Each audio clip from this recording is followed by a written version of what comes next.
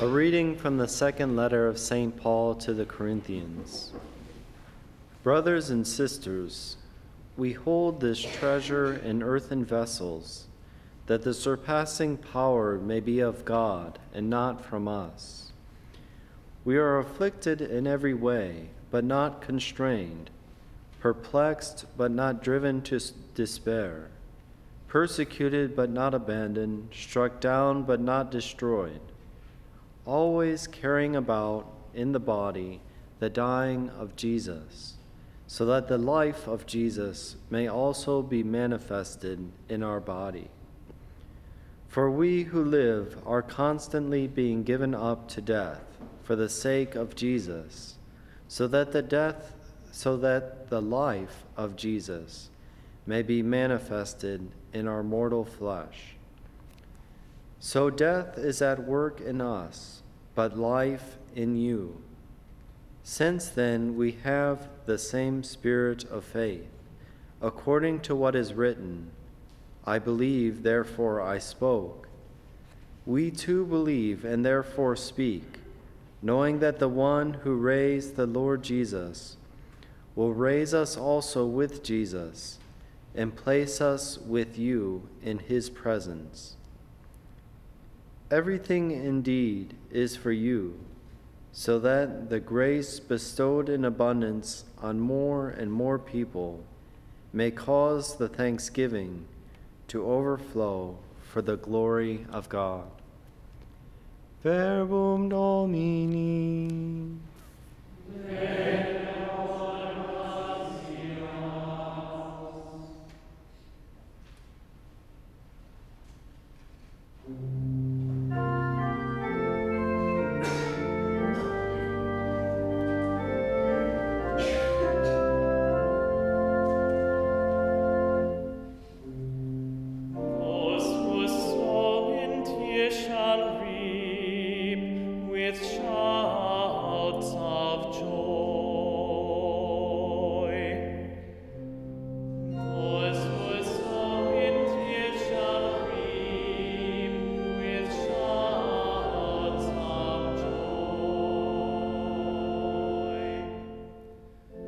When the Lord delivered Zion from bondage, it seemed like a dream.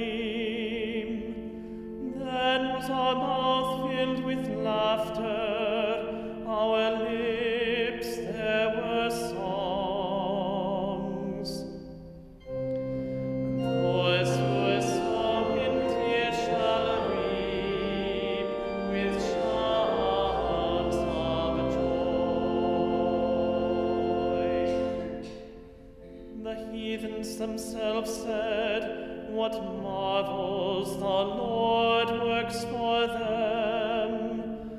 What marvels the Lord worked for us! Indeed, we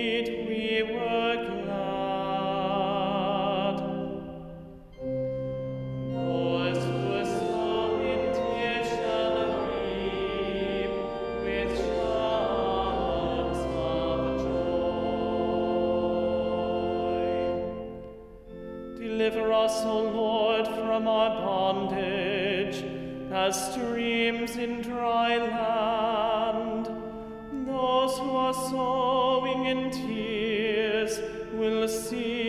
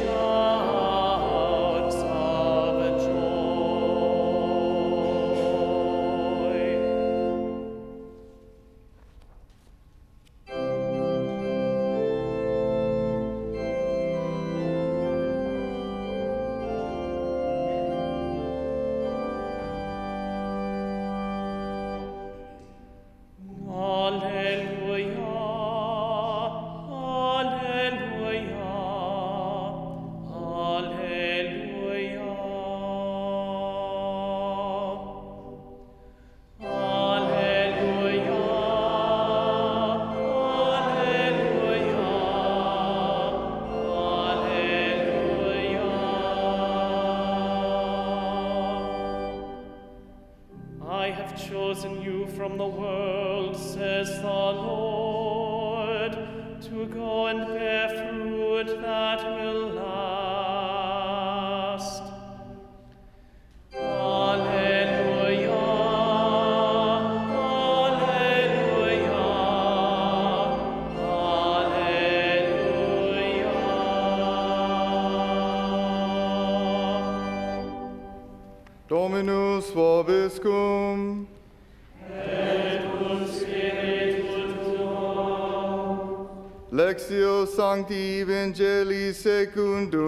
secundum Matthaeum.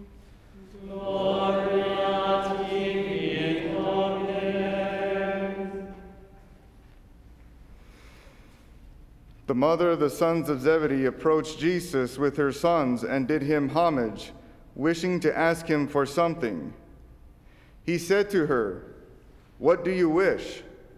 She answered him, Command that these two sons of mine sit, one at your right and the other at your left, in your kingdom.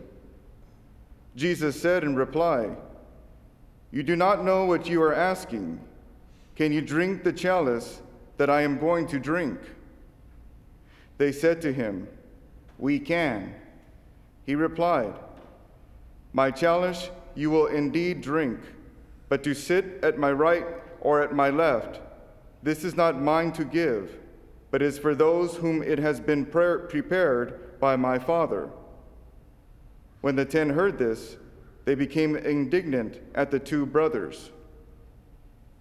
But Jesus summoned them and said, You know that the rulers of the Gentiles lord it over them, that the great ones make their authority over them felt.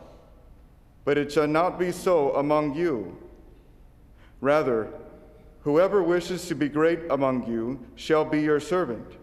Whoever wishes to be first among you shall be your slave.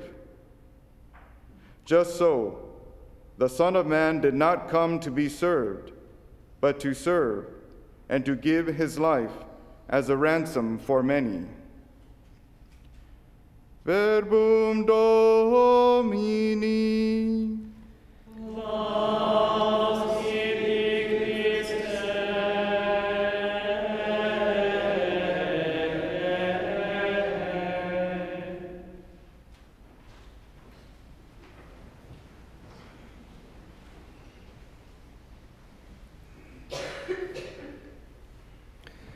Welcome to EWTN in a special way this morning those who have traveled from their home states to attend the EWTN family celebration. And so we welcome all of you this morning to the sacred liturgy and we wish you safe travels back home to your destinations. Today we celebrate the universal feast of one of the 12 apostles. Hence the red vestments, symbolic of the martyrdom of the apostles. And we celebrate specifically the apostle James, the brother of John, also known as James the Greater, to be differentiated from James the Less. Now, usually when the church fathers uh, designated two individuals of the same name, uh, apostles or non apostles, one the greater, one the less, it was usually due to age. And so we can uh, uh, understand then that James the Greater, the brother of John, and we know John was, was younger in his own age, we can pretty much have it on solid authority from the fathers of the church that James the Greater was older than James the Less. But there's another point of differentiation, that is of stature. So it could be that James the Greater was larger in stature. Now, whether that was horizontally or vertically, we're not sure, but I think we're safer to assume uh, concerning his age. And of course, James the Greater and his younger brother John were known as the sons of thunder. And we have this one brief account from a life of a saint uh, text. Sons of thunder was the name our Lord gave these two brothers, James and John. They were Galileans, typical of those energetic, religious, and often quick tempered people. When the people of a Samaritan village refused to allow Jesus and his disciples to pass through, for example, these two brothers did not hesitate to suggest to the Lord calling down fire from heaven to consume the entire town. And their ideals were not always purely spiritual either. Their mother, Salome, very seriously asked our Lord to give her sons the first places in his kingdom. If they had faults, however, they were those of impetuosity and never mediocrity, because these two always seemed to want to give their all for our Lord. They had a tremendous capacity for love, and their gentle master was patient in teaching them the road to humility. Even when they joined their mother in expressing a desire to sit at his right and his left side, our Lord turned their desire for glory into proper paths. He told them that they did not understand what they requested and asked if they were able to drink of his chalice of suffering. They answered typically without hesitation and with great faith, We can, and did not dream that their hopes for a glorious Messiah would be dashed away in the terrible tragedy to come in the dead of night, and that their own destiny was to be one of pain and struggle. Nor did Christ forget his promise. James the Greater was the first of the apostles to suffer martyrdom, so a strong tradition holds, when Herod Agrippa killed him around the year 44. James was prominent enough to have served Herod Agrippa as the means of showing his favor to the Jews. Herod later condemned James, however, to death for openly proclaiming Jesus Christ to be God, thus hoping to appease the Jews who were plotting insurrection. And so we see the ill temperaments of the apostles in this brief account. You know, we know that Peter was very impetuous, but we also know that Peter was known to be a great leader, a great organizer. And Christ told him you will lead the church. Upon this rock I will build my church, and the gates of hell will never prevail against it. So, all these uh, personality faux pas, huh, our Lord can still use for greater good in leading his church. The three apostles, Peter, James, and John, were always mentioned first among the apostles. If they needed to be rebuked most often, they were also the closest to Christ. And I think that's an interesting point. If these were the three that were most often rebuked by our Lord, they were often the ones that were called mostly by him to be in his inner circle. Not so much in a way of favoritism over the other nine, but to give to them certain mysteries of faith regarding the establishing of his church and placing in these three especially a greater task to lead the other nine. These three alone were admitted to be witnesses, for example, of his glorious transfiguration, and they alone were taken to the innermost recesses of the Garden of Gethsemane on the night of agony and of the arrest at the beginning of our Lord's Passion. James fully earned the name then of Son of Thunder. In his martyrdom, his voice became a thunderclap, we could say. His shrine at Compostela in Spain attracted pilgrims from all of Western Europe and does so till this day. The body of this patron of Spain is said to have been transferred to Compostela in the Middle Ages, and this belief is supported by a papal bull of Pope Leo XIII from 1884. It may have taken James some time to understand the chalice which his master, Jesus Christ, offered him, but once he understood it, he accepted and drank of it deeply and fully. Again, the strong tradition that he was the first of the 12 to go through martyrdom.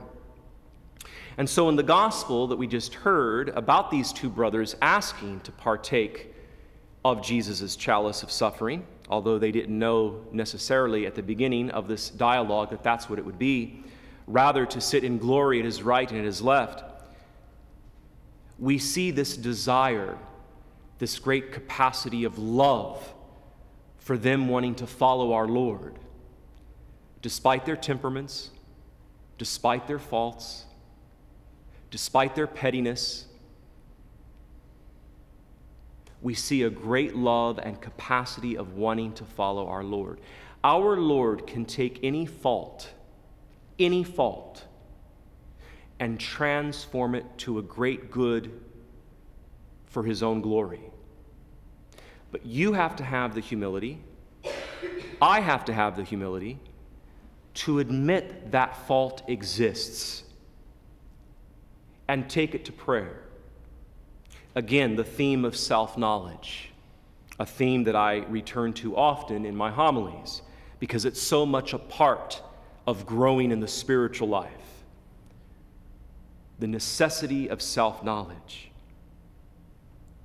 Jesus invites us not only to suffer in the pattern of his own death, but even to be crucified with him. Galatians chapter 2 and Philippians 3. Could not be accepting our own dying to self and uniting that with Jesus on the cross, couldn't that dying to self be very simply acknowledging our faults? That we have ill temperaments, that we have things we have to work on fear, shame, propensity to anger, a propensity to always have to be right, a propensity to always have to let my own view be known. Acknowledging these types of, of faux pas in our life, our personality, can't that be a dying to self and giving it to our Lord? The troubled marriage, having both spouses take a real strong heart to heart look at self. Where am I wrong in this crumbling marriage? Where am I wrong in my consecrated religious life and my relationship with my fellow confreres? Where am I wrong in this ill relationship I have with my boss in the workplace? Where am I wrong in this ill relationship I have with this one particular coworker?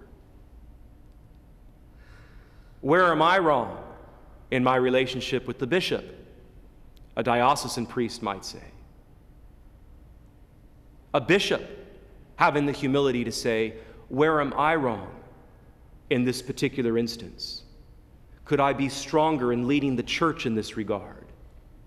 I've gotten enough letters now from enough parishioners of area parishes within my diocese that this one particular abuse seems to be taking place in several parishes. Where am I wrong in not addressing it finally when the rubric says otherwise? That it needs to be done this way dying to self.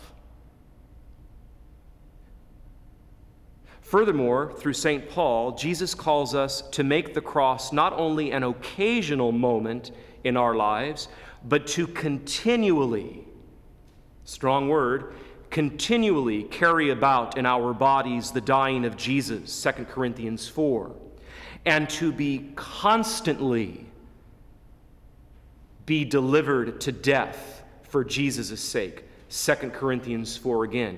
To continually carry about in our bodies the dying of Jesus and to constantly be delivered to death for Jesus' sake. One of our Franciscan brothers was just reminding me before Mass began that that scripture passage we have from the Gospels that says, Take up your cross, from Jesus' own lips. He who does not take up his cross and follow me is not worthy of me. He pointed out to me, this brother, that Jesus says in St. Luke's gospel that we must take up the cross daily. It is only the evangelist Luke that points out the taking up of this cross daily. So, again, daily, constantly, continually. But because of our fallen human nature, we are often tempted to make our crosses as rare as possible. But Jesus wants our crosses to be right in front of us, not to lead us to despair, not to lead us to a despair of everything about our lives, both spiritually and temporally. No. But to accept that cross in union with His cross, which was a saving, redeeming act transform your cross by accepting it into a saving, redeeming act united with our Lord's own cross and transform it into a positive. When we not only take up the daily cross, again, Luke 9, but also continually and constantly live the cross, we paradoxically reveal in our bodies the life of Jesus. 2 Corinthians 4 again. 2 Corinthians chapter 4 is a very, very telling chapter about the acceptance of suffering.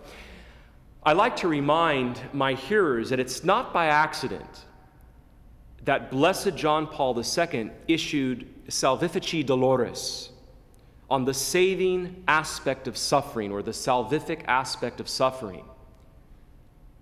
On the feast day of Our Lady of Lourdes, February 11th. And of course, the shrine of Our Lady of Lourdes in France is known to be a shrine with its healing appeal, its healing miracles. Whenever a new document comes out from the Holy Father, whether it be an actual encyclical or whether it be an apostolic exhortation, one of the first things I do is go to the back of it to see what date it was universally promulgated.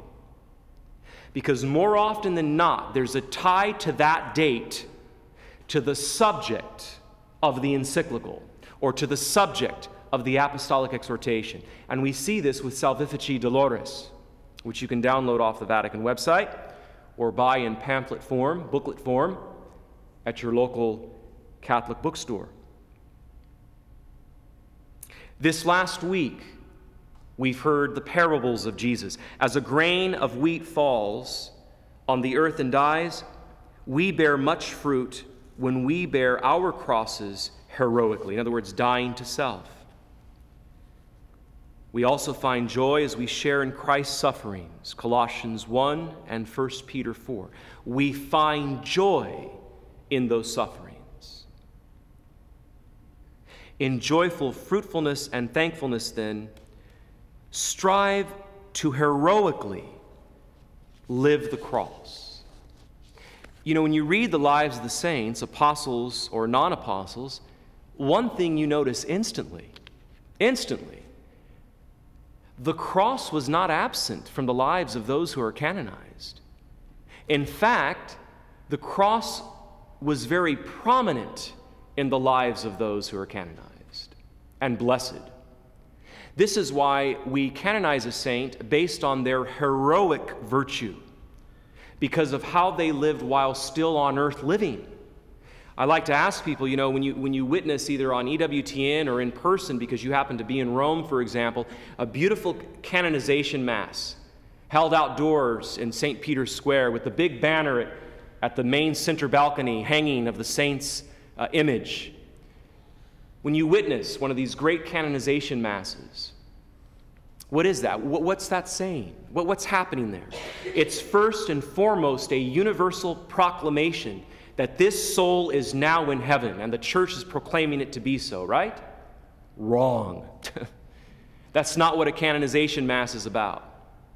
The first, foremost, and primary truth about witnessing something as beautiful as a canonization mass is this is that it's a universal proclamation by Holy Mother Church that while on earth while on earth, this person lived virtue to a heroic degree, and they are now an example for us, modeled after Christ Himself. That's what's first and foremost about a canonization Mass. And now, because of that, because of that primary point, now secondarily, secondarily, Holy Mother Church proclaims their soul to be in heaven. And we have to remember that. Because the saints, like the Apostle James the Greater, had the cross in their lives and accepted it fully. God bless you.